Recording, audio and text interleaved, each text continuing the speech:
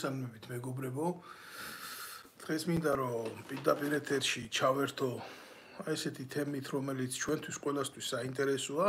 მიმდინარე პოლიტიკურ პროცესებთან დაკავშირებით მინდა გავაკეთო კომენტარები და საზოგადოებას მოვაუწყო, ну, რა თამაშები მიდის ახლა მის ზურგს უკან, იმიტომ რომ ფაქტიურად ქართულ ოცნებას აქვს სრული მონოპოლიზაცია ქართულ პოლიტიკურ სივრცეზე და რასაც უნდა ფაქტიურად იმას აკეთებს და მე საზოგადოებასთან მიმართებაში არ ქმნებს ამ ყველაფერს იმას რას რისი სურვილიც აქვს და რა სინამდვილეში რაც ხდება. ხა შიგნით შიდა პოლიტიკურ გუნდში ეგენით საერთოდ თუ ამათ პოლიტიკური გუნდი ქვიათ ხო? რასაც გააკეთებენ თითქოს და არ უნდა გვაწუხებდეს ჩვენ საზოგადოების უმრავლესობას, მაგრამ რეალურად იცით რა ხდება ეს ყველაფერი სერიოზულად მოქმედებს ქართული ერის და ქართული საზოგადოების კეთილდღეობაზე, ამიტომ მათი გადაწყვეტილებები, ხო?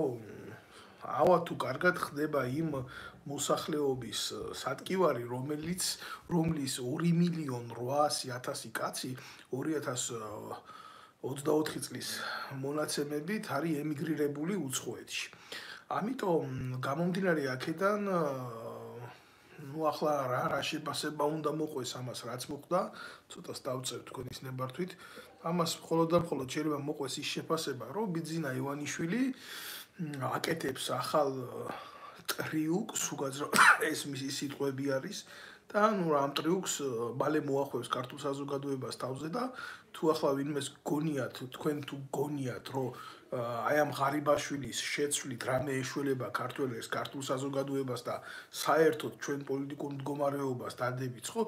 აი ძალიან სერიოზულად ცდებით. ეს არის კიდევ ერთი და მორიგი ტყუილი ბიძინა ივანიშვილის და გარიგებული იმ ოპოზიციის რომელიც მთელი ამ ხნის განმავლობაში ახდენს ჩვენი ერის ოკუპაციას. ეს არ არის მარტო მშრალი სიტყვები ვინმე სალანძღავთ იმიტომ ხა დეტალურად გავარკვევთ რაში არის საქმე პირველ რიგში ვიტყვით იმას რომ უნდა აღნიშნოთ რომ შესაკრებთა გადაადგილებით ჯამი რო არ იცვლება ეს არის ძალიან მარტივი მათემატიკური ჭეშმარიტება. ხა პირიქით ვიტყოდი.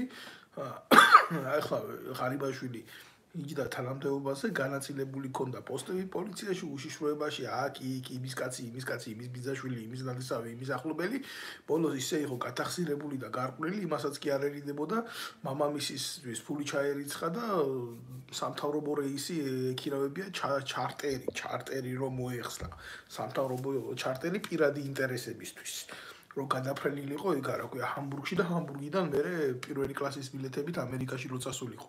ესე იყო, ისე იყო გათახსირებული, რომ მაღაზე რო არაფერი არ ვილაპარაკოთ, ხო, ხა ვიღაცამ შეიძლება თქვას, რომ პრემიერ-მინისტრია პირველი პირია და მე რა რო ასე გააკეთა. ჯერ ერთი მე თუ მკითხავთ, ძალიან მარტივ შეფასებას ვიტყვი, პრემიერ-მინისტრი, რომელსაც აქვს საერთოდ თავისუფალი დრო მე ძალიან მეეჭვება, რომ საქართველოსი ჩვენი ჩვენი სოციალურ-ეკონომიკური დაბალი განვითარების ქვეყნის პრემიერს უნდა კონდეს საერთოდ დრო იმისი სხვა ქვეყანაში დრო გაატაროს, თუნდაც საკუთარ ოჯახთან. იმიტომ რომ თუ ადამიანს დრო მინიმუმ საკუთარ ქვეყანაში უნდა იყოს, რომ ოპერატიულად შეძლოს პოლიტიკურ-ეკონომიკურ პროცესებში ჩართვა.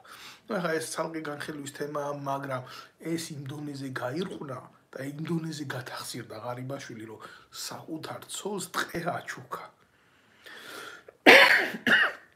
ვიღაცა ყანდურის დახმალებით უკაცრავად ცოტა გაციებულება და რა უბედურებაა ეს? იცით რასთან გვაქვს შეხება? ეს არის თანამედროვე ფეოდალიზმი. ეს არ არის მარტო ისეთი შემთხვევა, რომ კაცმა თქვა, რომ აი მე რა შეძლებული კაცი, ამდიდარი კაცი, არა, ესაა ფეოდალიზმი.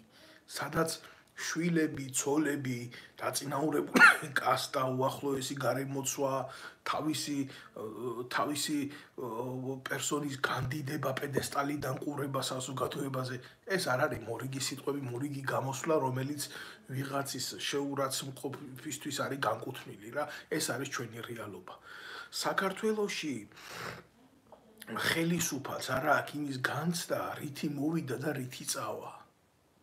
არა იმის განცდა, არა იმ პოლიტიკურ მემკვიდრეობაში თუ რა იყო მისი მოღვაწეობის დროს. არამედ არც იმის განცდა, თუ რა ქონება დააგროვა ადამიანმა თანამდებობაზე ყოფნის დროს. არ არის იმის განცდა, რომ ადამიანი თანამდებობაზე იმყოფება, ეს არის მისთვის რიგითი პოსტი, რომელიც საზოგადოების ქირით ხდება. ეს ნუ ახლა არ გავყვები ამ ფუნდამენტალურ შემეცნებას სახელმწიფოებრივი აზროვნების. დღეს საქართველოში არის ერთადერთი გაგება და სხვათაშორის იტალიური.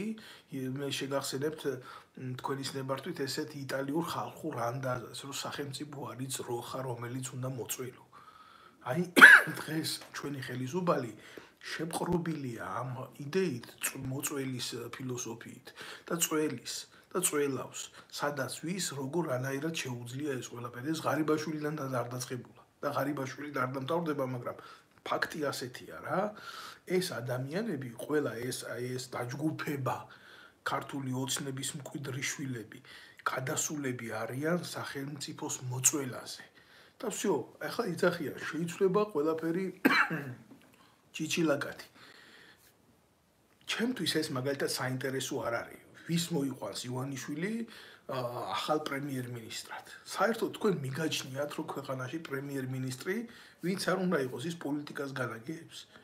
ძალიან მოკლე პრეისტორიას რო გადახედოთ ბატონებო. დაინახავთ კახარიას მოვლენას და უფრო იქეთაც ხო იყვნენ პრემიერ-მინისტრი კვირიკაშვილები და იქეთ რო იყო კიდე ვიღაცა ის სირბალა ლაიკა რო ყავდათ. მეური ყავდათ. მაგრამ თქვენ დამისახელეთ რომელიმე რომელსაც სახე ექნებოდა სახელმწიფო მოღმოყელის და იქნებოდა იმის განცდა რომ ის პერსონა ავტონომიური ადამიანია არა ყოველას უკან იდგა მეთოჯინე ბიძინა ივანიშვილი და ესე ხელზე რო ყავს ჩამოცმული უხილავი თოკებით ეს თოჯინების თეატრი მისი ათამაშებდა ამათ ყველას და უნდა და გადააყენებდა, უნდა და გადმოაყენებდა, უნდა და გადაკუზავდა, უნდა და გადმოკუზავდა, უნდა და ჩახტიდა, უნდა და აღტიდა, უნდა და მოკლავდა, უნდა და მოწყნავდა და ასე შემდეგ. დღეს მაბადიეთ, მაგრამ რა ხდება ისეთი განსხვავებული რითი შეიძლება საზოგადოება შეშფოთდეს და თქვას რომ არა იცით რა აი ჩვენთვის ეს მიუღებელია არა მე ვფიქრობ რომ ეს ყველაფერი სერიოზულად მისაღებია ქართული საზოგადოებისთვის. ეს არის მემკვიდრეობა ჩვენი პოლიტიკური შეუმეცნებლობის და ეს არის ის ნაწარმი რომელსაც ჩვენ შეგნებულად ვჭამთ. და ესეთი შხამი აუცილებლად აზიანებს იმ ორგანიზმს, რასაც ქვია ჯანსაღი ორგანიზმი, რომელიც უნდა იყოს იდილიაში მოყვანილი საერთოდ არსებობასთან. ჩვენ ჩვენ ჟანგბადს ვსპობთ არსებობის, მათ შორის პოლიტიკურ ჟანგბადს. ამიტომ გიკვირთ, ჩემო კარგებო, ყველაფერი ისე ცუდად არის, როგორც თქვენ გაგიხარდებათ. პრობლემა არ არის. ეხლა უახლოეს მომავალში რას უნდა ელოდეთ ბიძინა ივანიშვილის დაჟე უფრო ბრიყული აზრები ქონდა თავში მოყოლილი მოსული, მაგრამ ну ახლა იქეთკენ მე უფრო დეტალები ვიცი, მაგრამ არ მინდა ამას ელაპარაკი, უთხრეს რომ მაგის დაკეთება არ შეიძლება, შეიძლება ხვალდაზე დასრულდეო და ასე შემდეგ. ახლა რო იცოდეთ რეალობაში რა ხდება, ეს ყველაფერი არის ჩვეულებრივი რუსეთის პოლიტიკის ფილიალი საქართველოში, იმიტომ იქ რაც ხდება ანალოგიური უნდა მოხდეს აქ და მესობელი ქვეყნები, ვინც დაინტერესებულები არიან თავისი პოლიტიკური მარიონეტების დასმით თბილისში ეს გლობალური პოლიტიკა ისინი ისინი ამზადებენ ცდილობენ რევოლუციის გაკეთებას მიხეილ სააკაშვილის მომხრევით. რა თქმა უნდა, აფეთლაბერ გეტყვით რა, ეს წარმოუდგენელი მომენტია, იმიტომ დღეს არ არის ის მყიფე საზოგადოება, რაც შევარდნაძის დროს იყო. ეგენი მთელ ჯარს, მთელ პოლიციას ავტომატი დააცხრილიებენ საკუთარ მოქალაქეებს და საქართველოსი აი ესეთი ფორმით, როგორც ამგე ამგენს უნდათ რევოლუცია არ მოხდება. ამისთვის ახლა სერიოზულად იძებნება საქართველოსი დესტრუქციული ჯგუფები, რომლებსაც ეუბნებიან, რომ ნიშნულობა არ აქვს, როგორი იდეოლოგიის, როგორი მიმართულების არ იქნება ეს ჯგუფები, მაგრამ ეუბნებიან. მზად ვარ ჩვენ თქვენ მოგამზადოთ გასწავლოთ იარაღის ხმარება ყველაფერი ასე. ნუ ეს სწავლებები გარკვეულწილად მიდიოდა უკვე საქართველოში, მაგრამ რაც შეეხება პოლიტიკურ ტრიბუნას, როდესაც დაიწყება ეს პროცესი გადატრიალების, ხო?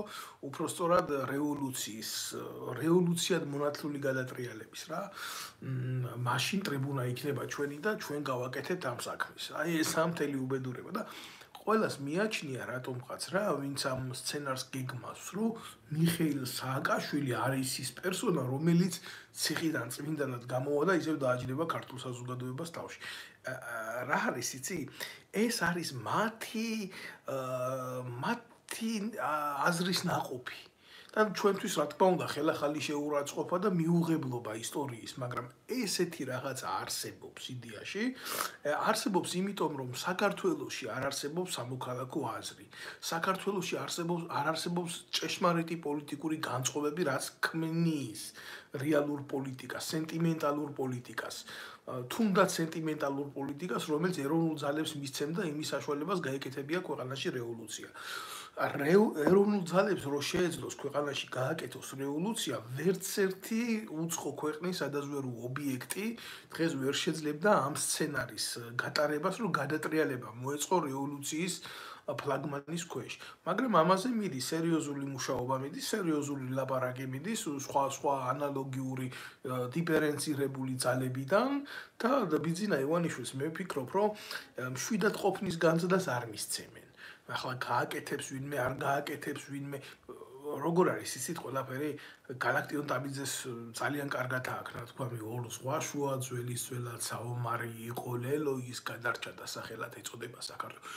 გადაურჩებით გადაურჩებით იმის გადმოსახედიდან როცა ეს შეიქმნა ეს სტრიქონები ხო? ნუ განცდა იყო ისტორიული გავლენის და იმ მომენტში საქართველოს უკვე გადარჩენილი იყო მინიმუმ იმ რეალობით და იმ მოსახლეობით, რაც იყო საბჭოთა კავშირის შემადგენლობაში, მაგრამ დღევანდელი გააზრებით საქართველოს გადარჩენა, ხო, აი ესეთი თუ ესეთი შუა კავკასიური ომი ატყდა, ხო, ჩვენი გადარჩენის იმედი მე არ ამაქვს, როგორც ერის, იმიტომ რომ მე როგორც წინა გამოსვლებში გითხარით, დღესაც გაგიმეორებთ, რომ საქართველოს მოსახლეობა მოქმედი შრომის უნარიანი დარჩენილია 800000 კაცი და როგორც კი მოხდება ამ საზოგადოების გან ნეიტრალება, აი და ეს ხალხი გაიყრება ან ემიგრაციაში, ან იქნება დაჭერილი ან ციხეში სასული, ან ასე შემდეგ, ან ისე შემდეგ, როგორც ამათ აწყობთ, მე საქართველოს მოსახლეობის კოეფიციენტი დაჯდება ახალშობილებზე, გარდაცვლილებზე, ქმედით უნაროებზე და ასე შემდეგ და საბოლოო ჯამში გახდება აუცილებელი ქვეყანაში სხვა ერის და სხვა ჯიშის შემოყვანა, რასთანაც დაკავშირებით ეგენი აწარმოებენ დიალოგს უკვე ჩინეთთან. და ჩინეთის ერთი სოფელს რო დაასახლებს ივანიშვილი და რამშველობა გაღამას ღარიბაშვილის მეტაურობით გააკეთებს კობახიძის მეტაურობით გააკეთებს ტუბისის მეტაურობით გააკეთებს საბოლოო ჯამში დამთავრდება საქართველოს გეუბნებით რომ ეს იდეა გაკეთებულია. იმიტომ რომ არსებობს ჩვეულებრივი სივრცის თეორიის ესეთი მოცემულობა როცა ტერიტორია რჩება უთვისებელი მას მოდიან და იპრობენ სხვა ერები და ნუ ახლა მნიშვნელობა არ აქვს პირველ ეტაპზე ამ უცხო ტომს და უცხო ხალხს რასაბუცმის წემენ და რითი გახდიან ვალდებულს ქართულ სახელმწიფოსთან მაგრამ სახელმწიფოში სადაც გენი და სისხლი არ არის ტრანსფორმირებული სახელმწიფოს მართვის მექანიზმთან და სახელმწიფო იდეოლოგიასთან, რომელიც ეროვნული ცნობიერებიდანაა გამოსული, ხო? მას აუცილებლად ემუქრება შეცვლა, გადაგვარება და გადაშენება. და დღეს ესენი იძახიან, რომ უნდა მოიყვანონ ღარიბაშვილის მაგივრად კაცი, რომელიც არის ჩიჩილაკა კობახიძე, რომელმაც ღიად განაცხადა, რომ მისთვის ეროვნული ცნობიერება ცოტა უცნოა და უცხოა და მე მგონი საშიშიცო. ეს ხო არის ჩემი სიტყვები თქვენ მოусვინოთ ხო? მაგის ეგრეთ წოდებულ გამოსვლას ბოსელაუჯი და იქ ბესელია გვერდზე აი პორნოგრაფია რო გამოუშვეს მე მაგისი ქართულმა უცნება ეთერში და მე სხვადასხვა არ მომისმენია ბესელიას გამოსვლები და განხილვები ამ თუ წესიერი ადამიანი რომელსაც ექნებოდა შეგნება იურიდიული განათლება და ბესელია ხო იბრალებს რომ ასეთია რა იქვე ეთყოდა ღარიბაშვილს რას ბრურტყუნებს შეგამოყლებებულო მაგრამ ამას როგორ ეთყოდა მაშინ იმ იმათი ჩამჩიდან ჭამდა და როცა აღმოჩნდა მე აკეთ მე ფრონტის მეორე ხაზზე და როცა მთელერს დაანახეს ბესელიას ცელულიდებიანი ბაყვები ემერე გახდა მიუღებელი რა თქმა უნდა ბესელიასთვის კობახიძე და მთელი ქართული ოცნება. აი ზუსტად ესეთმა პირადმა პოლიტიკურმა მოცემულობებმა სპირადი სარგებლის მოტანის მოტალი შეპრობილმა ადამიანებმა მოგცა ჩვენ იმის რეალიზმი რომ ქვეყანაში გავამრავლეთ ჩვენ პოლიტიკანები. აა ძალიან ბევრი პოლიტიკანები, აი როგორიც არის გუბაზ სანიკიძეები, როგორიც არის ესეთი უჯილა გოუჯიშო უსისხლო ღორიშვილები და მივედით იმ რეალი რეალობამდე, რა რეალობამდეც მივედით. მე მინდა რომ ამის შესახებ დეტალურად ვილაპარაკო და მქონდეს ამაზე საშუალება რომ ვილაპარაკო, მაგრამ რა არის ეს ხალხი დაბნეულია რა, ხალხს აინტერესებს ახლა დღეს ბიძინა ივანიშვილმა ორი და სამი დღის უკან რა თქვა, გუშინ როგორი ის კონდა ვარცხნილობა დღეს როგორი ვარცხნილობა აქ და ასე შემდეგ. რეალობა ის პოლიტიკური პრეისტორიისა, რომელიც ქმნის მოვლენებს, ხო? ხალხს აღარ აქვს იმისი ინტელექტი, უმრავლესობას აღარ აქვს იმისი ინტელექტი, მიყვეს ამ ნაბიჯებს და დაინახოს ეს მოცემულობა რა მდგომარეობაში იმყოფება. ნუ ახლა ანალიზის უნარი დაკარგა საზოგადოებამ. ეს არის თვითონ სამწუხარო გულახდილად გეუბნებით, იმიტომ რომ დღეს პოლიტიკას შეადგენს გამოყენებული, აი ნუ ის მოქმედი ფიგურები და არიერგარდში მყოფი პერსონები, ვინ ქმნის პოლიტიკას, იცით? რომლებიც არიან კომპრომეტირებულები რა. ეს არ არის თავისუფალი სივრცე, რომელიც იდეოლოგიაზე დააყრდნობით განახორციელებს სახელმწიფოს მართვაზე პრეტენზიებს. ეს არის ხუხაშვილები, სესიაშვილები, მრავლობითობაში არ ვამბობ უბრალოდ კრეფსითობაში მოიხსენიებ, რატო იცი? აი ესენი არიან ადამიანები, რომლებიც ბიძინა ივანიშვილის აყროლებულ საცვალში იჯდნენ და წოვდნენ მის ორგანოს. და მერე დაიშალნენ მარტივ მამრავლებად. და დღეს არიან ზოგი იქეთ გადასული, ზოგი აქეთ გადმოსული, ყველას აქ თავისი წილი საქართველოს აღებული, ყველა კუნიტავს თავის წილს საქართველოს და მერე გამოდიან ეს დედა მოტრონლები და იზახიან რომ პრეტენზიები აქვს ქვეყანაზე, სურთ ქვეყნის განვითარება, ქვეყანაში პოლიტიკური პროცესების შეცვლა და ეს გადის წლები, გადის ათეულობის წლები, გადის 30 წელიწადია ასე ამ მდგომარეობაში ვიმყოფებით, ხო, დამოუკიდებლობის მოყვებიდან თუ მეტი არა და ჩვენ შვილებს უკვე ამ მდგომარეობით ასე თუ გაგრძელდა ცვლილებების სახეზე არ ექნება. არა და რეალურად რო ვილაპარაკოთ, ხო? ჩვენ ვართ ქვეყანა ჩვენი ტერიტორიული გეოგრაფიული მოცემულობით და თუნდაც ბუნებრივი წიაღისეულით, ხო? რომელიც თავისუფლად შეძლებდა საკუთარი მოსახლეობის ავტონომიურ გამოყვებას. გინდა სოფლის მეურნეობის მიმართულება იქნებოდა თუ ციაღისეული იქნებოდა ბუნებრივი ციაღისეული საქართველოსი მინიმუმ იქნებოდა შესაძლებლობა მძიმე რეწველობის გამართვის. თუ ქვეყანაში არ არის გამართული მძიმე რეწველობა თუ არ არის რკინიგზა განვითარებული ხო როგორ შეიძლება ასეთი საზოგადოება იყოს წარმატებული თქვით კმარი და კმაყოფილი თავისი მომავლით ამ თუნდაც რეალური მდგომარეობით ეს არის ღრმა სიცრუე დღეს საქართველოს იმყოფება სუბსიდირებულ ელემენტებზე. მე არა ვარ ეკონომისტი, მე არც ეკონომიკის სპეციალისტი ვარ, მაგრამ უსაფრთხო უსაფრთხოების სპეციალისტი ვარ. და როდესაც ქვეყანაში სათანადო მარაგები არ არის, ხო? როცა სახელმწიფოში არ არის არანაირი ლოჯისტიკა იმისთვის, რომ ავტონომიური არსებობა შეძლოს გარკვეული პოლიტიკური თუ გეოპოლიტიკური ცვლილებებიდან გამომდინარე, რომელიც შეიძლება აისახოს მის სასურსათო პოლიტიკაზე, ეკონომიურ პოლიტიკაზე, დივერსიულ მდგომარეობაზე ქვეყანაში, ეკონომიკურ ცვლილებებზე, ვალუტის დევალვაციაზე, ასე შემთხვევაში ეს უკვე ეკონომიკას აღარ ეხება, ეს ეხება გლობალურ უსაფრთხოებას და წესით უნდა იყოს ეროვნული უსაფრთხოების პოლიტიკა განსაზღვრული. დებულებითი დოკუმენტი უნდა იყოს, რომელიც ითვალისწინებს სახელმწიფო ელემენტების მოქმედებას, მათ ავალდებულებს სათანადო მარაგების შექმნას. ახლა რო შეკითხო ხარიბაშვილს, სახელმწიფო ინსტიტუტის ყველა ორგანოში იმუშავა, არ ვიცი ახლა რა აქ თამგენი ამგენს სახელები იცოცხლე რა სახელებს აქ არქმევენ ფულის საჭრელს ტანოგებად რო აქ ეს ორგანოები გადაქცეული გული შექშუ ვერ წაიკითხავ რა, რო დაიწყება აქედან შეიძლება 5 საბზაცი კონდეს კვები ვერ წაიკითხო რა. მაგრამ რეალობაში ესენი იყვნენ ჩაულებრივი ეგრეთ წოდებული კანტორები, სადაც პოლიტიკურად აფარებდნენ ეს გვამები თავს. მერევე გამოიყვანდა ივანიშვილი დანიშნავდა, აქ დანიშნავდა იმას, იქ იმას, აქ იმას, აქ იმას, იმას, იმას, ცნობიერება საზოგადოების თვალს მოწყვეტავდა, მე ისევ შემოიყვანდა, ამით ხო არაფერი არ ეცვლებოდა ქვეყანაში. არც უსაფრთხოება არ ძლიერდებოდა, არც ეკონომიკა არ ძლიერდებოდა, არც პოლიტიკა არ ჩანსახდებოდა და არაფერი, ხო? ჩვენ დღესაც, აი დღეს რაც ხდება, ეს არის ამ ჩემი მოყოლილი პრეისტორიის უბრალოდ ხილული ტელევიზიის ეკრანებთან ფართოდ გაშუქებული გამეორებული სიტუაცია. აქ მეტი არაფერი არ ხდება, თქვენ რო იცოდეთ ბატონო. ახლა ყველაზე მეტად გულსატკენი რა არის რა? მე არ ვაპირებ დავდგე ახლა და ამ იდიოტის გამოსვლები განვიხილო რა ღარიბაშვილის, მაგრამ გამოვიდა კაცი და ილაპარაკა, ნუ ილაპარაკა, ილაპარაკა, ილაპარაკა რაღაცა, აი წინ აი როგორი პატარა ბავშვი რო დაშჩი, ყურს რო აუწევ და გაწითლება. და დაავალებ, რომ მეორე დღეს ჭკუით მოიქცეს და ის შეცდომა არ გაიმეოროს. აი დაახლოებით იმ სახით გამოვიდა საზოგადოების წინაშე და ლაპარაკობს რანაირ რაღაცას, იცი? ისა რა ქვია, მე ახლა სხვასაც უნდა მიეცესო, აქ შანსიო, აი ესე დემოკრატიული პოლიტიკური ცხობა გვაქვს ჩვენ კონცეფცია, რომ ძალიან ბევრი წარმატებული კაციაო და პრემიერის თანამდებობაზე სხვასაც უნდა მიეცესო კარიერული განვითარების შანსიო, მე ორჯერ ვიყავი უკვე ამ თანამდებობაზე და წინაზე ისე გააგდეს იმიდან, რომ ქვია თანამდებობიდან 2 საათი არაცადეს კაბინეტში ჯდომა. და ანალოგიური გამეორდა ახლა, ახლაც და ვითომ პრემიერ-მინისტრის კაბინეტი და პრემიერ-მინისტრის თანამდებობა ვინმესთვის ყოფილიყოს პლატფორმა, რომ კარიერა გაიგეთოს. ცხენი ამას რო ვლაპარაკობ ხალხო.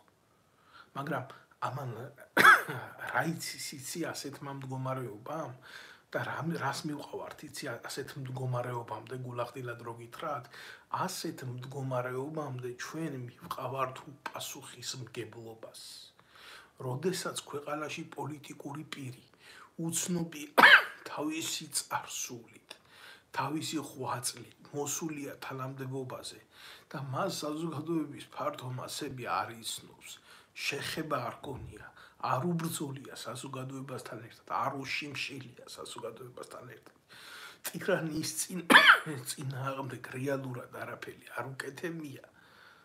აი მაშინ ხდება ის, რაც ხდება ღარიბაშვილის შემთხვევაში. ჩვენ ვიღებთ ხელოვნურად შექმნილ ადამიანებს და მე არ უნდა გვიკვირდეს. ასეთი წინასწარი ტექსტის წინასწარა წინასწარა დაწერილი ტექსტის უნიჭო გაჟღერების შემთხვევაში თუ ჩვენთვის ეს ყურშიდაც მიუღებელია მოსასმენად და ცხოვრების წესად მით უმეტეს ძალიან მტკივნეულია და ყველაზე ირონიული და ყველაზე დამამცირებელი ალბათ მისი ეგრეთ წოდებული გამოსვლიდან იყო ის, რომ ო ახლა მეო წავალო და როგორც იქნაო ჩემ ჩემი შვილებისთვისო დამრჩებაო დრო. თქვენ ალბათ დასვამთ რა შეკითხვას. 2 მილიონ 800 000 ემიგრანტი რომელიც გადასახლებულია საკუთარი ნების საწინააღმდეგო სამშობლოდან. აი ვინც ქვეყანაშია მე იმას არ ვეხები საერთოდ იმათმა შეხედონ თავისი კომარეობა როგორია თქვენი შვილებისთვის როდის გქონია დრო იმდენი თქვენ თითოეულ თქვენგანს? რომ აი ამ ყველაფრის მერე გაგრჩენოდეთ არ გაგრჩენოდეთ პროტესტის შეგრძნება. დღეს ქართველი კაცი გინდა ემიგრაციაში გინდა საკუთარ ქვეყანაში. იმითი კი ვერ არის დაკავებული დრო დაუთმოს საკუთარ შვილებს სათანადოდ ახსავსდელად იმითია დაკავებული რომ როგორ მოუტანოს ლუკმაპური დააჭამოს და გაზარდოს ბავშვი. ბავშვი რომელიც ღვთის საჩუქარია ქართველმა რომელმაც ჩვენი ქვეყანა უნდა დაიკავოს და უმრავლეს შემთხვევაში ბევრი ქართველი ბავშვი იზრდება უდიდოთ და უმამოთ ამათი მუღალატეობრივი პოლიტიკიდან გამომდინარე. და ერთადერთი რასაც ეს ადამიანები ვალდებულებად ცნობენ თუ მოკვდები უცხოეთში ჩამოგათრევენ და ჩაგაგდებენ ქართულ მიწაში. მომკვდარი კაცი პრობლემას აღარ წარმოადგენს. ესენი ძალიან კარგად აა ითვისებენ სტალინის იდეას იმასთან დაკავშირებით არ არის კაცი არ არის პრობლემა. აი ეს მოსწონთ. მოსწონთ. რეალობაში მოსწონთ. ეგენი სტალინის სურათებს და ძეგლებს ებრძვიან თუ არა რეალობაში აი ეს მიმართულება ადამიანების მოსპობასთან დაკავშირებით ყველაზე კარგად აქვს დაჭერილი. უარესები არიან უფრო მრისხანეები არიან იმიტომ უფრო უტვინოები არიან. და რა თქმა უნდა ეს შეურაცხყოფელია საზოგადოებისთვის როცა ამხელა კაცი ღარიბაშვილი გამოდის რა ერეკლე მეფეს რო ადარებდა თავს მართლა ეს ირაკლი სად ირაკლი სად ერეკლე და სად ჩემიყლიო რა ნათქვამია ზუსტად მაგაზია ნათქვამი გამოდის და იმას ამბობს რომ ჩემი მადლობაო ჩემ მამასო მადლობ კაც უხდის მადლობას პრემიერ-მინისტრი რომლის პრემიერ-მინისტრობის დროს უამრავი პენსიონერი შიმშილით მოკვდა და რომ რომლის პრემიერ-მინისტრობის დროსაც უამრავ პენსიონერს სულში ჩააჯვა ამ დედამოწყლვა. აი იმ დამოკიდებულებით მარტო იმ დამოკიდებულებით შემოკარგება რომ აი ისა 30000 ევრო რო გადმოარიცხია მამამის ჩარტერული რეისით რო წასულიყო ჰამბურგში ყველა პენსიონერისთვის აი ეს ქმედება იყო ჩვეულებრივ საკონტროლო გასროლა. გულახდილად გეუბნებდი, ხა მე არ შეუყვები რა იმის დაანგარიშებას. გიგეუბნებით რა, მე ამ თემას არ მივსდევ როგორც ეკონომიკურ ლაიტმოტივად რა.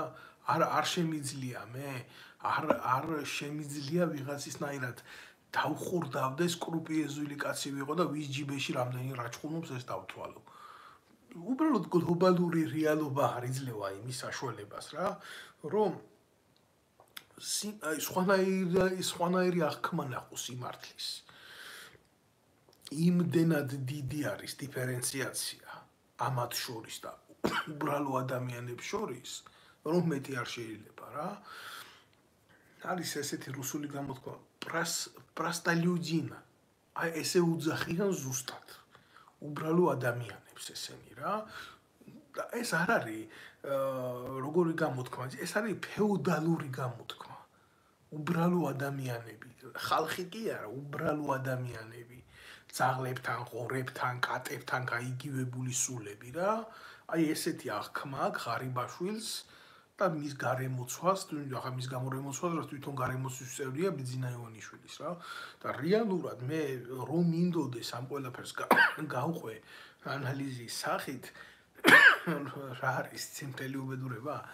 აი ეს იქეთ ჩასახლებული ოპოზიცია, რომელიც რა თქმა უნდა უტევს რა კოცებს და კოცურ არიერ გარს ხელისუფლების დასაკავებლად, იმიტომ რომ ამათმა ხო უნდა აითვისონ ახალი სივრცეები.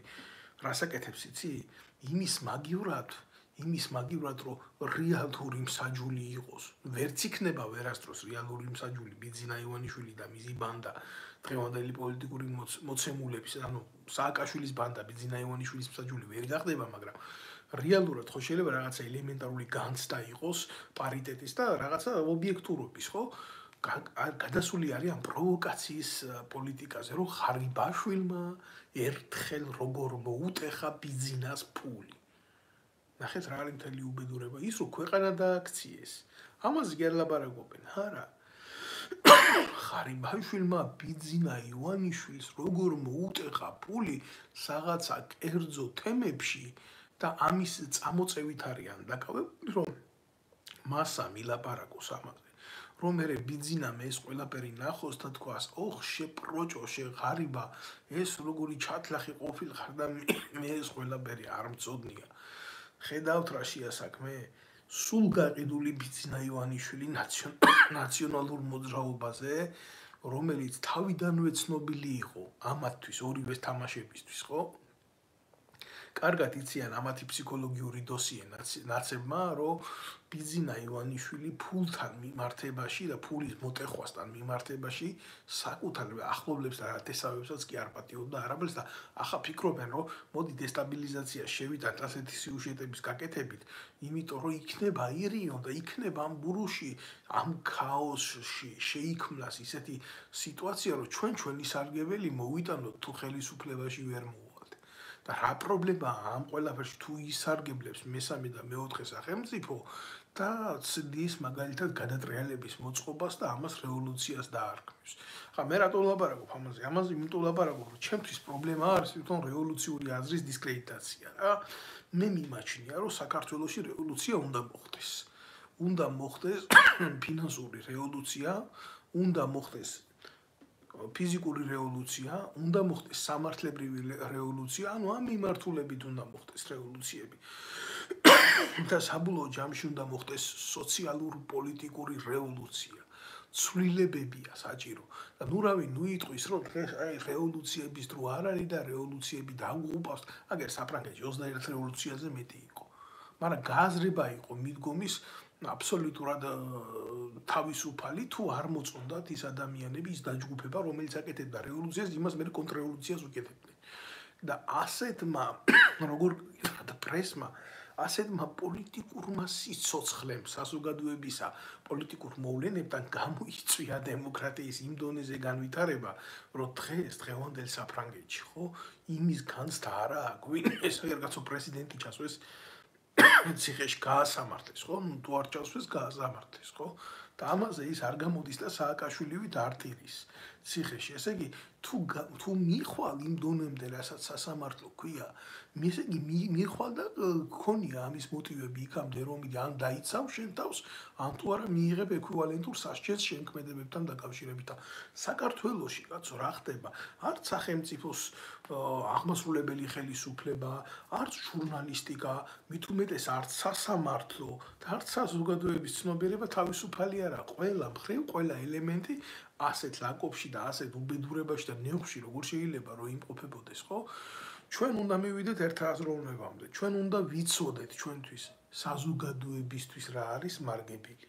ჩვენ არ უნდა დაუშვათ ისეთი არასწორი გააზრება მოვლენების, რომელიც გამოიწვევს ჩვენი ეროვნული იდეების და მიზნების დისკრედიტაციას. იქნება ეს თავდაცვის, ეკონომიკური, სოციალური თუ სხვადასხვა მიმართულებების რა.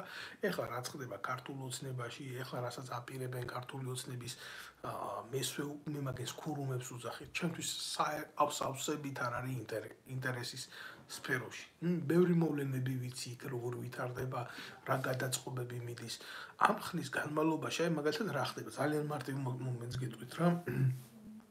ვისი მასობრივი მხილებაც მიდიოდა იმაში კორუფციაში სტანდარტის მინისტრი თუ ასე შემდეგ თუ ასე შემდეგ ამ ხალხს ყოველას უბრალოდ შეუცვლიან პოზას რა გადააბრუნებენ გვერდით რომ მათი სახეები ბლაგვი სახეები ფართო მასალას არ მოხვდეს თვალში და ისინი გააგრძელებენ არსებობას როგორც აი იზურიები გადაასახლეს გერმანიაში, გერმანიის საელჩოში რო ჩასვეს და ასე შემდეგ და ასე შემდეგ. ესე გააგრძელებენ ეს როგორ გითხრათ, აი ეს საზიზღარი ჩოულწურბელები ცხოვრებას სახელმწიფოებრივ ტანში რა, აქ მეტი არაფერი არ მოხდება. თუმცა გეუბნებით გულახდილად, რომ ამ ხალხის უკან ჩანაცვლება მოხდება. მაგრამ აი დაახლოებით როგორი სურათით იცი? როგორც ალეკო ელისაშვილის თანაპარტიელმა იოსელიანმა იქ თანამდებობაზე რო დაჭდა და ალეკო ელისაშვილის დიშვილი დაისვა მოადგილეთ სანამაკიდან დედის პროჭი არ ვამყვეთ ყოველდღე თავზე და არ გადამალა მერე და სამაგეროდ ვინ მოიყოლა იცით? ეხლა მის მაგივრად მის მაგივრად ვიღაცა წყალკანალ ტრესტიდან საიდან მოიყოლა იცი? სახელმწიფო უცხებიდან ხალხო ამდენი პროფესიონალი იურისტი, წარმატებული ადამიანი, უფლებადამცველია საზოგადოებაში არა, ამან პირდაპირ გაროჩე კანდიდატურა მოხსნა სახელმწიფო უწყებიდან. რატო იცი, ჩვეულებრივი ბოზი არის ქართული ოცნების ეს იოსელიანი და ეს იყო შემომწირველი ქართული ოცნების პოლიტიკური პარტიის და ეს ხო ნუ ალი არიკრძალებაო გეტყვიან ქვეყანაში ნორმალური ფაქტია. აი დაახლოებით ასეთი კომბინაციებით მე მითო ვამბობ რომ დღევანდელი მოცემულობა პოლიტიკური ეს არის შესაკრებთა გადაადგილების ჯამი არის ცვლება. უბრალოდ რა არის ძიმო უფრო დამშეული მასა რომელიც რომელიც დაიწყებს თავის თავისი კანდიდატების წინ წაწევას და რომლებიც შეეცდება ახალი წესრიგის მოყოლას კოცურ სახელმწიფო სახელმწიფოში არა რომ ქართული ოცნების ბანკში. საქართველოს არის დღეს ქართული ოცნების პრივატ ბანკი რა.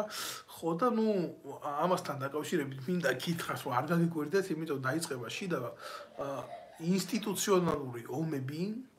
ეს შიდა ინსტიტუციონალური ომები რას მოგვიტანს ახლა რა?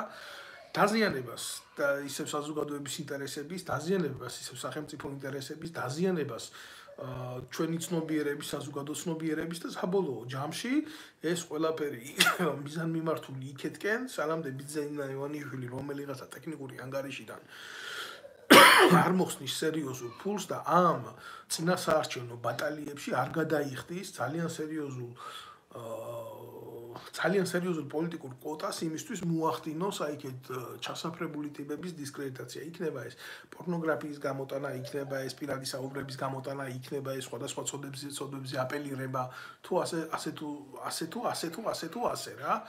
ასე იგი გაყოფილი ხო არის ეს ეგრეთ წოდებული ველი, პოლარიზებული რა, ვინც არიან ახლა ვინც თვლიან რომ ერთმანეთში უნდა ითამაშონ პოლიტიკა, ეგ არა, პოლიტიკას აკეთებენ. აი, ჩვეულებრივ როგორც კამს აკეთებენ, ისე აკეთებენ წესიერ ქვეყნებში პოლიტიკას, მაგრამ ეგენი თამაშობენ პოლიტიკას რა.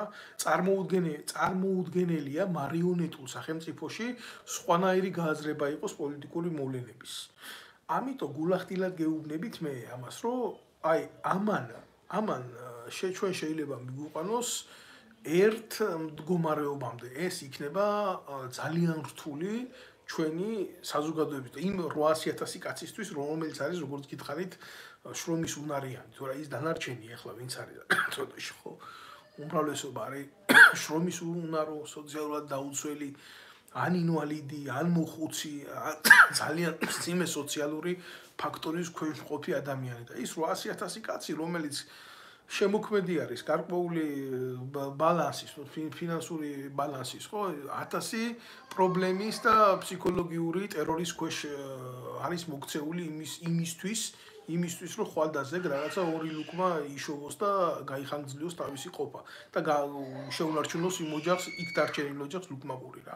სულ აი ამის თქმა მინდა, მე ამაზე მინდოდა გამეკეთებია, ну განცხადება, იმიტომ რომ ძალიან დიდი არის ინტერესი საზოგადოებაში რა იქნება ხვალ და რა მოხდება და ვის დანიშნავენ. ეს არ არის ჩვენი ინტერესი. არ არის აბსოლუტურად საინტერესო ვინ დაინიშნება აქ იმ მინისტრად, ამ მინისტრად, ამ მინისტრად. ნუ მიაქცევთ ამას ყურადღებას, ნუ ჩათვლით ამას საჭირო თემად, რომლითაც შეიძლება თქვენი ცნობიერება დაკავდეს. თუ რა თქმა უნდა, არ ახართ დაკავებული ჭორიკნობით რა. სული ამ სიტყვის მნიშვნელობით მე მე ჩემი ჩემი პოზიციებია ესეთი. და თქვენი გადასახედით ითეულს თქვენ გასააკ და რა თქმა უნდა შეხედულებების თქვენი პრივატულია და მე არ ვერევი ამაში იმიტომ მე გადმოცემას უკეთებ მხოლოდ საკუთარ აზრებს სუბიექტურ აზრებს უკეთებ და ეს არის ჩემი განხილვის სპექტრი რომელსაც მე გთავაზობ თქვენ როგორც ჩემი ჩემი გადმოსახედიდან დანახულ პოლიტიკას. არც ერთ ეტაპზე არ გქონდეთ იმის განცდა, რომ აი რომელიმე იერარქი გინდა სასულიერო პირი ჩანგამოვა ქვეყნის საზოგადოების სახელმწიფოს და საკუთარ რელიგიის დასაცავად იბრძოლებს. და იტყვის, რომ აი ნუ ეს მისაღები, ეს არა მისაღები, ეს დამღუპველია, ეს დამაქცეველია საზოგადოებისთვის, რელიგიისთვის, რწმენისთვის, ჩვენი მოსახლეობის. ასეთი განცდა თქვენში არ იყოს, იმიტომ რომ ასეთი თავგანწირვები დამთავრდა ჩვენს სამწუხაროდ უნდა ვთქვა სერიოზულად იმუშავეს საქართველოს საპატრიარქოში უცხო ქვეყნის სპეცსამსახურებმა საკუთარმა რომ იმუშავა და იმუშავა ამაზე ახლა რა თქმა უნდა მაგა მაგაზე არ მე არც მინდა ლაბარი ფაქტები მიდევს აგერ. ხო და ნუ ყველანაირად არის ამოწურული ის ფაქტი რომ ვინმეს გაუჩნდება ვაშკაცობის გმირობის ან ქრისტეს მოყარეობის თვის თავდადების სურვილი ასეთი ასეთი მოვლენა აპირიკით ესეთი რაღაცა ვინმეს რო გაუჩნდეს თავში რა საპატრიარქოში ის დაემკვიდრება სასჯელს დაახლოებით აი ესეც რა ციანიდი რო შეუგდეს და დაიჭირეს რა.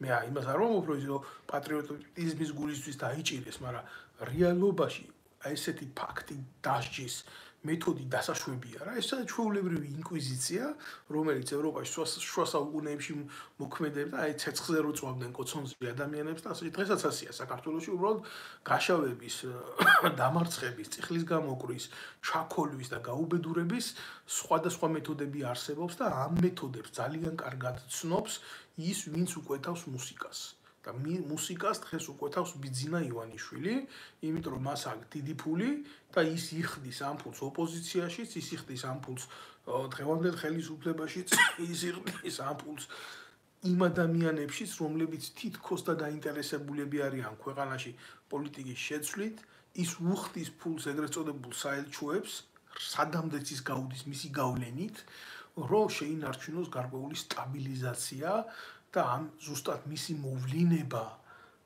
ღია პოლიტიკურ სივრცეში ეს არის ზუსტად მხოლოდ და მხოლოდ იმის მანიშნებელი რომ ის დარჩეს გავლენის ელემენტად. ის დარჩეს გავლენის ელემენტად. სხვა მის სხვა აი ეს ეს თამაშები სხვას მეც არაფერს არ ემსახურება. ეს არის ესეთია საზოგადოება რომელსაც მართავს ავტოკრატი ოლიგარქი რომელსაც უზურპირებული აქვს ხელისუფლება და ყველაზე მეტი სამწუხარო რა არის, ის ლაპარაკობს სახელმწიფოს და ხალხის სახელით. თორე ასეთი წყობა, ოლიგარქიული წყობა, ოლიგარქიული გააზრება სახელმწიფოებრივი რაღაცა სისტემის აი მოდიოდა ძველი საბერძნეთიდან, მაგრამ ამას განვითარება არ ქონდა ოლიგარქიას. განვითარება პოვა ერთადერთმა ელემენტმა დემოკრატიამ და სოციალურმა მიდგომებმა. ეს არის ჩვენი დედამიწაზე არსებული პოლიტიკური ისტორიის მკაფიო ანალიზის შედეგი. და სოციალურ პოლიტიკურმა განვითარებამ ნაციონალურ იდეოლოგიურმა განვითარებამ, ნაცისტურმა მდგომარეობამ და გადარევებმა და გადაზავებებმა აი ესეთ ავანტიურებში თელი მსოფლიო რამოდენიმეჯერ მიიყვანა დაღუპვის ზღვარზე. და დღეს ჩვენ თამაშობთ ოლიგარქიასა და დემოკრატიას შორის. ხო ავანტიურა ეს ჩვეულებრივი რიგითი ავანტიურა რომელსაც აქ ისტორიული გამოცდილება. ამ პოლიტიკური მართლობის ფორმას. და არ არის ეს გამართლებული პოლიტიკური მართლობის ფორმა იმიტომ მე შემიძლია დეტალურად გითხრათ რა ხდებოდა ანტიკურ ეპოქაში, როდესაც ოლიგარქია იყო გაბატონებული. და კარგი არაფერი არ ხდებოდა. აი ამის თქმა მინდა მე.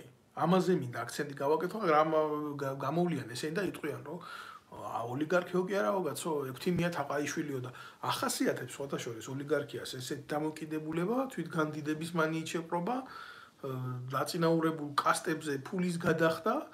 და საკუთარი ინტერესების საზოგადოებაში ლობირება ეს არის ოლიგარქებისთვის დამახასიათებელი რეკლამის ყიდვა. და სამწუხაროდ დემოკრატიულ საზოგადოებაში ასეთი ფორმა პოპულიზმის მიღებულია. მე ვფიქრობ, რომ ესა ძალიან ცუდი ფორმატი. მაგრამ ნუ რასიზმ დაშვებულია. სწორედ ასეთმა არასწორმა მიდგომებმა და დემოკრატიული საფარქველი საფარველის ქვეშ შეფუთვამ ამადი მანკიერები მანკიერების საშუალება მისცა ოლიგარქი ოლიგარქიას და ოლიგარქებს. კონკრეტულად ბიზინა ივანიშვილს მოსულიყო ხელისუფლებაში და დარჩენილიყო დღემდე ხელისუფლებაში. და რა თქმა უნდა, როდესაც ოლიგარქია იმარჯვებს, ყოველთვის მარცხდება ხალხი, ყოველთვის მარცხდება საშუალო ფენა და ღარიბი ფენის ყოველთვის საბოლოო განადგურება არის გამიზნული, იმიტომ რომ დაწინაურებული კასტა არასოდეს არ მისცემს სხვა ფენას მას მასავით არსებობის საშუალებას თუ არა მასზე მეტად მყოფი პერსონებად ქცევის საშუალებას. ეს არის ძალიან მარტივი სოციალურ პოლიტიკური მოვლენები, ამაზე რა დიდი განხილვა არ უნდა. მაგრამ ნუ ახლა პრაიმ ჰაუსის დონის საზოგადოებას მე ამას ვერ აუხსნი. ამდვილად ვერ აუხსნი. თავიდანვე თუ არა აქვს საზოგადოება შეგნებული სკოლიდან მოსწავლემ თუ არ იცის რო გახდება ის სრულწლოვანი როგორი უნდა იყოს მისი არჩევანი როგორი უნდა იყოს ის სახელმწიფო სადაც ცხოვრობს. სადაც დაიბადა სადაც გაიზარდა სადაც არსებობს სადაც შვილი ეყოლება სადაც გადაწყვიტა მან ცხოვრება და მოღვაწეობა თუ არა აქვს იმას პროექტად წარმოქმნილი როგორი უნდა იყოს ის საზოგადოება სადაც თვითონ იარსებებს დამთავრებულია გაზრდილ ჩამოყალიბებულ სამართლებრივად უფლება მიცემულ ახალგაზრდასთან ლაპარაკი და მისთვის პასუხის მოთხოვნა თუ როგორი უნდა იყოს მისი არჩევანის უფლება. და მე გამოდგებიან და იტყვიან იმას რომ ეს არჩევანი ყველასი პიროვნული საკითხია და იმ ბუტკის მიღმა რასაც უნდა იმას გააკეთებს. იმ ბუტკის მიღმა ყველას რასაც უნდა იმას აკეთებს ბჭყალებში იმიტომ რომ იმასაც ვეღარ აკეთებენ არსებობს ტელეფონი უღებენ სურას და მე უგზავნიან რომ 50 ლარი ჩაურიცხონ და ამ დეობაზე დარჩენ. საღაცა ძროხის მწველავათან ტუალეტის დამლაგებლად. აი ეს ეს იცის, ეს იცის რეალობაში ოლიგარქია. ასეთი მიდგომა აქვს ოლიგარქიას. ასეთი ცნობადობა აქვს, ასეთი ხასიათი აქვს სახელმწიფო მართვის იმ ფორმას, რომელსაც დღეს ჩვენ განვიცდით როგორც მწარე ხუნდები. მე ამაზე ვლაპარაკობ, მე ეს მაწუხებს. მე ამაზე ძალიან ბევრი შემიძლია ვილაპარაკო, მაგრამ გულახდილად გეტყვით სურვილი არ მაქვს. არ მაქვს, იმიტომ რომ ძალიან ბევრჯერ ვილაპარაკე ამ ყველაფერზე და უკვე როდესაც ერთსა და იმავე გზას ბევრჯერ თელავ, შენ თვითონ გიჩდება პროტესტი საკუთარ თავთან რომ შეიძლება ასეთ ასეთ საუბარ შედეგი არ კონდეს. აი რა თქმა უნდა, ადამიანს აგდებს ნიჰილიზმში მდგომარეობა ქვეყნის, რომელიც არ იცვლება. მე უბრალოდ ამ მოვლენებს უყურებ სხვანაირად. მე ამ მოვლენებს უყურებ იმ გაგებით, რომ ყოველთვის ჯერა იმ წყლის წვეთის, რომელიც ქვას თუ ბევრჯერ დაეცემა გახრეთს და მინდა რომ ვიყო ყოველთვის ოპტიმისტი. დავრჩი ოპტიმისტი. მაგრამ ძალიან მიჭირს რომ დავრჩი ოპტიმისტი, როცა ამდენ ნაგავს უყურებ და ამდენ გადინებას უყურებ ქვეყნიდან ემიგრაციის. ვაჭრობას რო უყურებ ჩემი საზოგადოების აი ამ ნაძირლებით. გული მტკივა. სულ აი ამის თქმა მინდა მე და ამის თქმა მინდა. აი ამაზე მინდა. აღარ მინდა შეგეკითხო თქვენ ყველას. აი ვინც მიყურებთ, ვინც მოგვიანებით შეხედავთ ამ ყველაფერს და ასე შემდეგ, ხო? როგორ წარმოგიდგენიათ თქვენ თქვენი ქვეყნის ცხოვრება და განვითარება? როგორ წარმოგიდგენიათ? რა რა გინდათ თქვენ თქვენ შვილებს მისცეთ, როგორი საქართველო გინდათ და უტოვოთ. თუ თქვენ არ აგაქვთ იმის სურვილი, თქო, რომ იყოთ შემცვლელი ამ ამ მოვლენების, მაშინ რა გინდა თქვენი შვილები დადგნენ თქვენს მაგივრად იმ ადგილზე, სადაც თქვენ უნდა იდგეთ? თქვენ თქვენ რო არითხოთ, თქვენ რო ჩუმად ახართ, თქვენ რო ეგუებით, თქვენ რო იღებთ სხვის გაჭირებას და სხვის უბედურებას, აი გუშინ გუშინ წინ სახლიდან მოხდა სასტიკი მეთოდებით გამოსახლება ადამიანის და ბევრმა თქვენგანმა ეს იწოდა და იქ არ მივიდა. სანამ თქვენ სახთან არ მოვლიან, მანამდე არ ამოიღებთ ხმას? მანამდე არ დაუდგებით ერთმანეთს?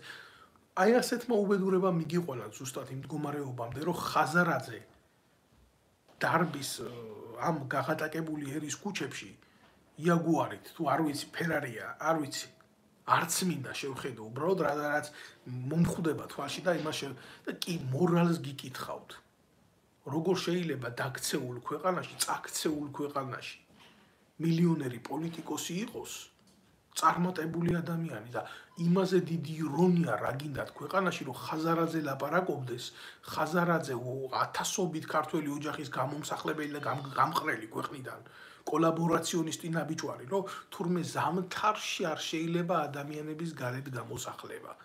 ვითომ მისი ბანკი თავდაცვის სამინისტროს მაღალეჩინოსანთან გარიგებული არ ასახლებდა თბილისში მოსახლეებს მათ შორის ზამთრის თვეში.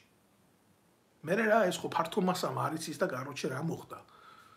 მაგრამ ეს ხო სერიოზული მინუსია ჩვენი საზოგადოების რომელმაც ხაზარაზე და მისი დამპალი გუნდი პარლამენტში დასვა.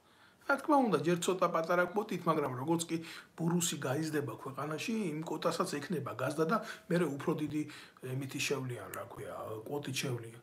რა მოგვიტანა ამ მდგომარეობამ ხაზარაძე არა მარტო ეკონომიკური მორალის მკითხავად დასვა იმონიშვილმა საქართველოში. არამედ ხელოვნების დამფინანსებელი გახდა, კულტურის დამფინანსებელი გახდა, ლიტერატურის დამფინანსებელი გახდა. და როგორი კულტურის და როგორი ლიტერატურის იცი საკუთარ დედასთან რო სექსუალურ ურთიერთობებზე წერენ, კითხულობენ და მუსიკებს უძღვნიან. თუ მაგას პროზა, პოეზია ან მუსიკა შეიძლება ეწოდოს. აი, ეს არის, ეს არის რეალობა. წარე რეალობა, რომელსაც ბევრი გაურბის და უამრავ მათგანს უნდა ფაქტი დამტკიცებულება, რომ აქ მანდა მაინც მოასმენიო მაშინ და აქ უნდა მქონდეს თორე მოწყობილობები და ჩავრთო რა ამათი დაფინანსებული ტელევიზია. რუსთავი ორის მეშვეობით რაღაცა იმ ტივის ამ ტივის იმ ტივის მეშვეობით როგორ როგორ ყნით და ვიღაცას ჩემი გინება და ლანძღვა გაუკვირდება მე როცა ქალის და კაცის გენიტალიებზე მიდის ლაბარაკი. მე არცეთ უშიშროებიდან დაფინანსებულ კომენტარზე რომელიც აგიდება მე არასოდეს არ გავაკეთებ აქცენტს. მე ვფილტრავ ამას, ხვდები მე მაგ ცხოვრებაში ის გამოცდილება ამ საინფორმაციო ომში ვის რა უპასუხო და როგორ უპასუხო რა. მაგრამ ეს იმას არ ნიშნავს, რომ მე ამას არ უყურებ. და ჩემთვის პრობლემაა, როცა უყურებ ამდენი ტროლების ქარხანას. და ეს ტროლების ქარხანა არის ერთადერთი მონაპოვარი. ტროლების ქარხანა ჩვეულებრივ დაჯგუფება, რომელიც სიმართლეს ებრძვის. და ეს ქარხნები, ტროლების ქარხნები არის ერთადერთი მონაპოვარი ქართული ოცნების, რომელიც დაპირებულ 100 ქარხნის მაგივრად მისცეს ხელისუფლებას და ხალხს, საზოგადოებას და ხალხს და სახელმწიფოს ზოგადად რა. ეს არის. ეს არის ეს არის მწარე რეალობა. ეს არის მწარე რეალობა კიდე რა არის? იცი მწარე რეალობა? საქართველოს რომელიც ხილბოსტანით მომარაგებელი იყო თელი თელი საბჭოთა კავშირის დღეს თურქეთია დამოკიდებული. საქართველოს რომელიც ერთ-ერთი ცნობილი იყო თავისი მეპურეობით, თავისი ხორბლით, დღეს შემომტანი არის ხორბლის. შეიძლება რაღაცა ქვეყანაში არ გქონდეს იდეალურად და რაღაცა პროცენტით გახდე იმპორტიორი. მაგრამ სულ ამ დონეზე დამოკიდებული იყო სხვა ქვეყნებზე შენი ვიტალური არსებობით, ეს ხო ღალატი არის კაცო საკუთარი ერის, ხალხის და საზოგადოების. აი რა ნებისმიერ ტიპს იქ მოულიან, იქ მოულიან სოფლის მეურნეობაში ხალხი რომელიც აი ხარს და ძროხას ერთმანეთისგან ვერ ანსხვავებს და ასე იძახიან დედალი ძროხა და მამალი ძროხა. არის ასეთი კატეგორია მოსული. აი რა მიიყვანა განადგურებამდე სოფლის მეურნეობა. და ყველაზე მეტი უბედურება რა იცი არავინ ხმას არ იღებს. რა მნიშვნელობა აქვს ახლა ზოგისთვის არიჯოხაზისთვის მაგალითად საქართველოს მოყვანილ მჭადს შეჭამს როცა მაგის ის გაუჩნდება სურვილი თუ თურქეთში იქნება ეს მჭადი მოყვანილი რა. სულ ერთ ადგილზე არ კიდია ამ კერდმოშუშლებულ კოცების პროპაგანდონ მეტრო მეტრაკეს რომელიც იმედის ტელევიზიიდან შხამავს საზოგადოებას. და არა მარტო კაცო იქ არიან ბევრი კუზანოვის ცოლი და იქ ვიღაცა ნინი ბადურაშვილი ცხათაობის ბოზი კაგებეშნიკი ეს რო ყავდა რა ქვია პრეისტორიული წარსული რო აქ მის მის უახლოეს ნათესაობას და დღეს კარგად ადაპტირებული და იქ მიშა სააკაშვილის უკანალში ნაჯდომი და ნამყოფი აი ესეთი ხალხია მოსული და ამის მიღებას ახდენს ჩვენი საზოგადოება. აი ამათი ნაწარმის მიღებას ახდენს ცნობიერებას ჩვენი საზოგადოება. არ შეუძლია მეტი. არ აქვს მეტი გასაკანი. ვერ იღებს ინფორმაციას. ძალიან პატარა მაგალითს გეტყვით რა. შეხედეთ, აი პროსტ ამათ ხასიათს დაინახავთ ძალიან კარგად რა. სანამდე სააკაშვილი მოვიდოდა.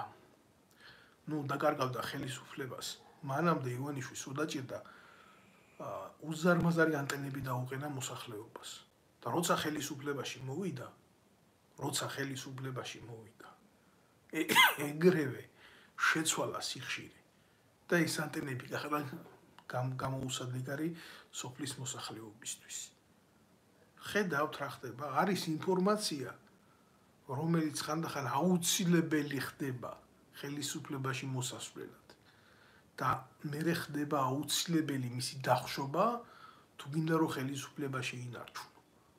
ეს არის აზროვნება მევახშის მტრის და ხალხის მოწინააღმდეგე პერსონის. ესა მისი იდეოლოგია. და წარმოუდგენელია ასეთი ცნობიერების ადამიანი იყოს ჩვენი ქვეყნის გამაძლიერებელი. და ჩვენი ქვეყნისთვის რაღაცა კარგის მომტანი. მე სულ ლაპარაკობ ამაზე, მე ახლა ეს არ მინახია ვიღაცის გადმოცემით, ვიღაცის ყურში ჩურჩული და ასე შემდეგ და იქ ვიყავი. იმ პოლიტიკურ მომლენებში მონაწილეობდი და სხვადასხვა ძალიან ძიმე გასახსენებელია ეგ როცა ვიხსენებ, იმიტომ რომ დღეს რო ბარეური კარგად ბალახობს ქართულ ოცნებაში, მე მახსოვს ეგენი მაშინ სად იყვნენ რა. ეგენი იყვნენ ან ნაციონალურ მოძრაობაში, ან იმალებოდნენ სახლებში. და უამრავი ადამიანი ჩვენ ვცდილობდით რომ გაღწილება შეგვეცვალა. არ არ უშინდებოდით ამას და მერაბიშვილის პოლიციები პოლიციიდან დაწყებული პადიეზდებამდე დაგვძდებდა მერაბიშვილის პოლიცია. რომ დესტრუქცია მოეხდიან, რომ გავენადგურებიეთ. და ძალიან ბევრი ფაქტორი იყო ამისი. და ძალიან ბევრი შემთხვევა იყო ამისი. სამწუხაროდ გეუბნებით რა. და ესეთი ადამიანები გახდნენ მეორე დღესვე მიუღებელი ქართული ოცნებისთვის, როგორც კი ქართული ოცნება დაჯდა ხელისუფლებაში. და დაჯდა, როგორ დაჯდა? და რა ძალებით დაჯდა?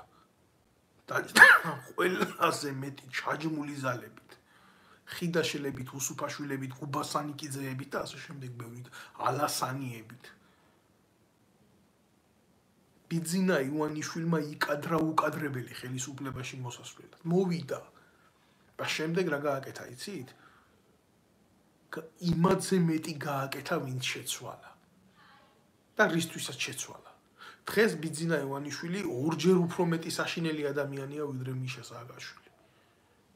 გულახდილად გეუბნები, ახლა რა გონია თქვენ რა მსხვერპლი არა ყავს ქართული ოცნების ხელისუფლებას? ყავს. მაგრამ ჩემი გამოსვლა და ამის თქმა იმას კი არ ნიშნავს, რომ ბიძინა ივანიშვილი უნდა წავიდეს, იმიტომ რომ სააკაშვილი მოვიყვანოთ იქ ხელისუფლებაში. არანაირად. ჩემი გამოსვლები, ჩემი საუბარი იმ მხოლოდ და მხოლოდ იმას ემსახურება, რომ ქართველმა ერმა ნახოს პოლიტიკური გაჯანსაღების ცნობიერება. რომ ერმა შეუშვას თავში, რომ მის საზოგადოებაში, თუნდაც ესეთ განადგურებულში მოიძებნება ადამიანები, რომლებიც შეძლებენ ამ საზოგადოების ჭამოშორებას. წარმოუდგენელია ერმა თავისი პოლიტიკური ცხოვრება გააგრძელოს. ამ ჩამპალ ადამიანებთან ერთად. მე რო ვლაპარაკო, ამას მარტო ივანიშვილს არ ეხება რა. გლობალურად ეს ეხება ბიძინა ივანიშვილს, ეს ეხება სააკაშვილს, ეს ეს ეხება გირჩი ჯაფარიძეებს, ჯონდი ბაღათურიებს და ამ კლერტა ჯოგს სრულიად სიტყვის მნიშვნელობით რა. ეგენი ვინც არიან? ნუ შალვა ნათელაშვილები და ესენი ეგენი არიან კარგად, კაროჩე, გამოსვებული ტიპები ერთ ადგილში. ну ამ ორგოშიებზე და იმგენზე არ ვლაპარაკობ, იმიტომ რომ ესენი არიან პირდაპირ უშიშროების დაჯგუფება რა და ადაპტირებული მოთამაშეებით, სხვადასხვაის ძალიან დაბალი დონის ბანალური ტიპები. და საქართველოში არის ხალხი, სადაც სადაც არის ეს ხალხი, გეტყვით, იცი? გადარჩენისთვის ომობს ეს ადამიანები, კაცო. და ჩვენ საკმაოდ ძლიერი საზოგადოება ვიყავით. ქონდა რა იმის უნარი ინტელექტუალური, ცნობიერებითი, ოჯახებიდან წამოსული თუ ასე შემდეგ, თუ ასე შემდეგ, რომ აი ესეთ ადამიანებს ემართა საზოგადოება. ესეთ ადამიანებს ემართა მეცნიერება. ესეთ ადამიანებს ემართა სახელმწიფო. მაგრამ ნუ სამწუხაროდ ჭიამ რომელიც შემოუშვით მუსაში შენ დაანგრია მეცნიერება ქვეყანაში, შემდეგ დაეტაკა ლიტერატურა, შემდეგ დაეტაკა პოეზიას. შემდეგ დაედაკა მუსიკას, შემდეგ დაედაკა სოფლის მეურნეობას და ნუ როცა ჩაინგრა, ჩაინგრა საფუძველი დაინგრა და აგვემხო თავზე ჭერი და ეგრე იყო და ეგრე იყო და ეგრე იყო. დღეს, დღეს ბიძინა ივანიშვილი არის ყველაზე დიდი საშიშროება, ყველაზე დიდი მოთამაშე ოლიგარქი დემოკრატიით და ყველაზე დიდი მტერი დემოკრატიის. ამას ვიტყვი. ყოველთვის ვიტყვი ამას სანამ მივიარსებებ იმის არ იყოს რომში რომ კატონ უფროსი გამოდიოდა და იძახოდა რომ მე მაინც ვფიქრობ კართაგენი უნდა დაინგრეს უნდა დაინგრეს უნდა და ისე მოკვდა ვერ მოესწრო კართაგენის დანგრევას მაგრამ საბოლოო ჯამში ისე დაანგრია რომმა კართაგენი რომ ის მარილი მოაყარა იმაში სანცის სახლის სანცისკულებში რომ იქ არაფერი აღარ მოსულიყო. თუ ასე არ დაინგრა ბიზნა ივანიშვილის ხელისუფლება მართლობა, მისი ტირანიული რეჟიმი, მისი კოლაბორაციონისტული ძალები, იგივე ეს გირჩი ჯაფარიძეები, იგივე ეს იაგო ხვიჩიები, აი საიდან ვიწყებ ლაპარაკს რა? ამ ფსევდო ოპოზიციონერები და აი ეს ალიკო ყლელისაშვილი რო არის, აი მისი სახალხო დამცველი რო ყავს, იქ ვითომ მიოსელი არის, ის პროჭის და კიდე ეს გუნდი ეგრეთ წოდებული ქალების, ქართველი ქალების მაია სამნიძეები და იქ ხაზარაძის პარტიაში ერთი იმის სახელი დამავიწყდა, დედამოწმული ქალის თაისელია ეს.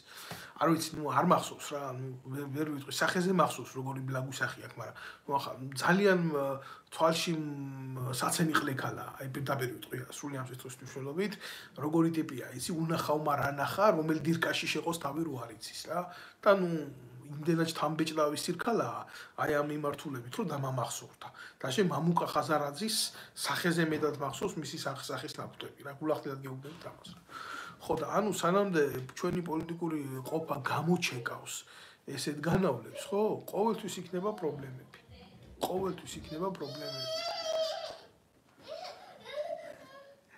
ჩემთანა მოდი მოდი მოდი მოდი ჩემთან. მოდი პოდიშვიხი ეს არ მომასვენებდა ეხ. აი დაუქნი ხელი, დაუქნი. რაღაცა ხდება. და დაუქნი აქ ხელი. რატო? რატო ბრაზობ? რატო ბრაზობ? ახლა რო არის მე დავამთავრო ჩემი ვიდეო ლაივი და გავიდე და დაუთმო ამას დრო თუ არა არ მაძლევს. აა, ნახე აქ რა ხდება. რატო ტიროდი? რატო ტიროდი?